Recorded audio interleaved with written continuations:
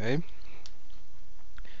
So let's see how this tool works.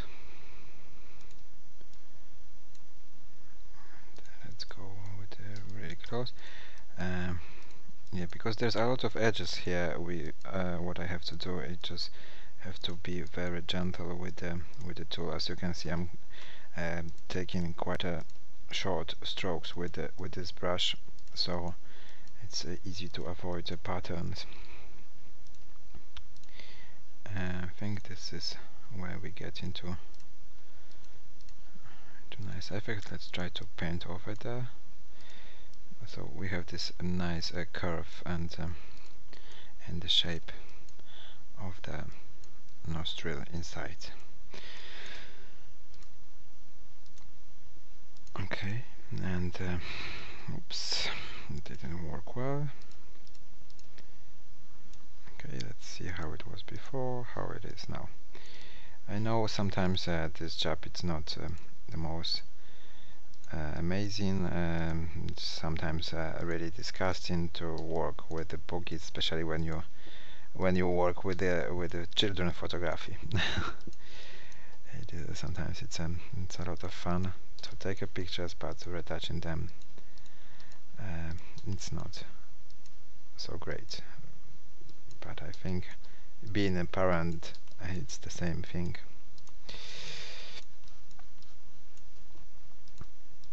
But at the end of the day it's all about having great photo. Okay so let's see how we had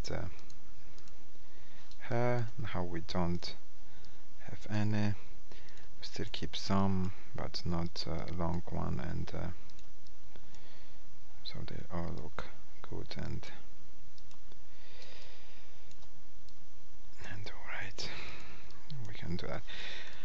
Like I said uh, those few parts uh, will be very boring and uh, and it's all about retouch. If not uh, if you don't like it you can skip it and uh, go to to other parts uh, when I will show you how how to um, few parts further where I will show you how to uh, work with the shadows and highlights and how to get a really nice uh, three-dimensional look of, of your photograph. With eyes some people uh, they do weird stuff because they keep forgetting that um, it's not uh, very white and um, and they keep going really uh, really far with uh, with retouching and they just lose three-dimensional shape of uh,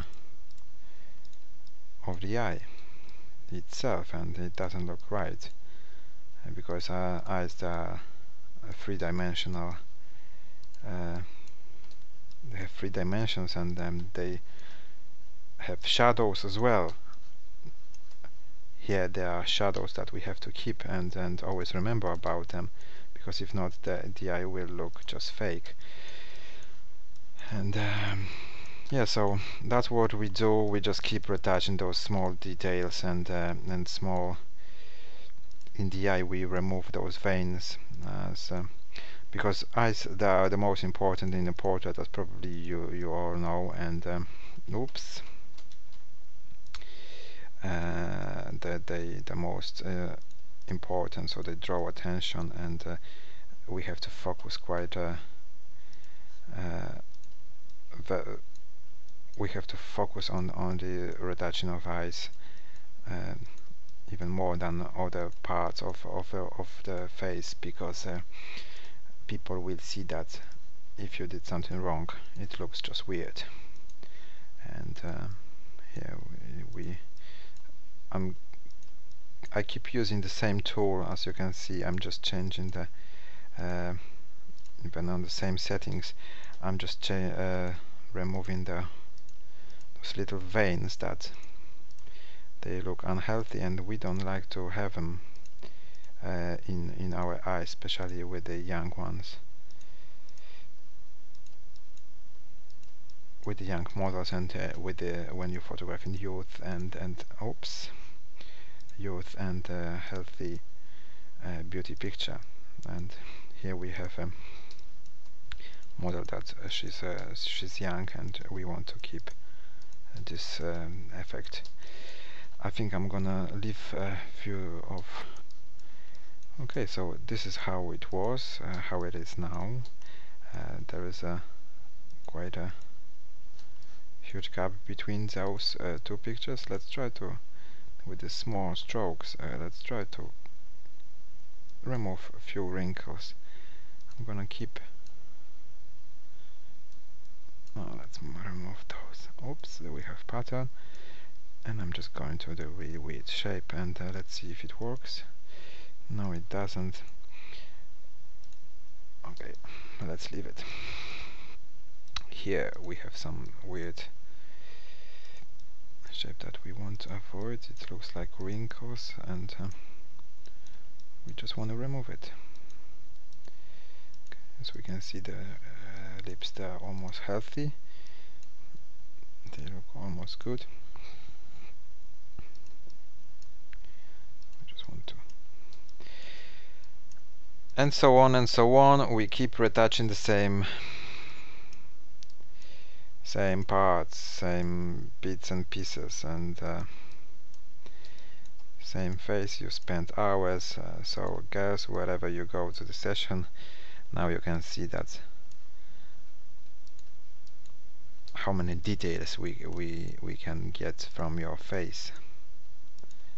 And uh,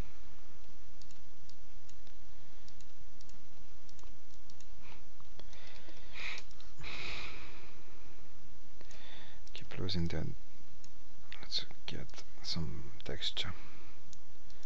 Okay. I'm gonna go crazy here. Alright so uh, we almost done. Uh, now we have this uh, tricky part here and um, let's see from the distance when I'm look too close you always remember to zoom in and zoom out because if you if you don't do that you just lose the track sometimes and uh, and uh, picture doesn't look uh, right and you just go